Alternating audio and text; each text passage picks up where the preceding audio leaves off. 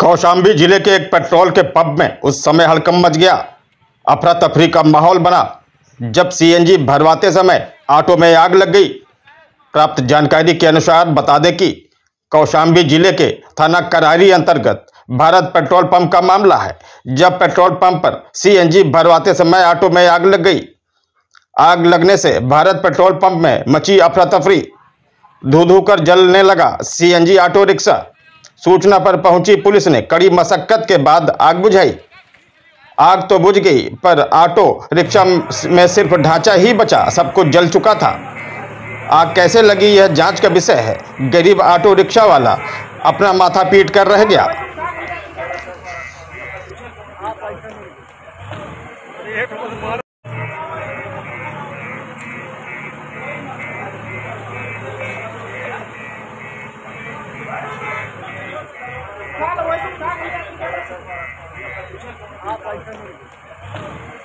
आप